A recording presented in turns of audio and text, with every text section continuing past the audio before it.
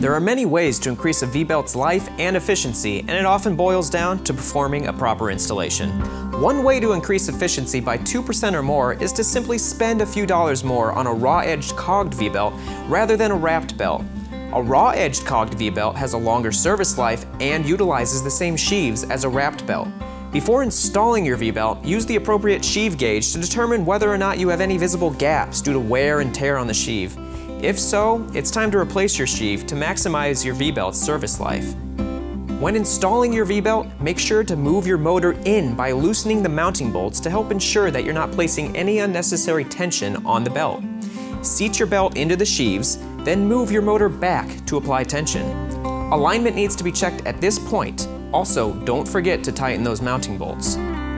Improperly tensioned V-belts are the single most common cause for premature V-belt failure.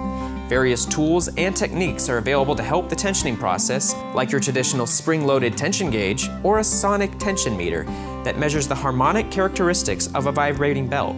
After the drive has been operating under load for approximately 24 to 48 hours, it is a good idea to recheck the tension, alignment, and to make sure the V-belt has worked its way into the sheave's groove. When in doubt, always consult your owner's guide to determine the best solution for your application type.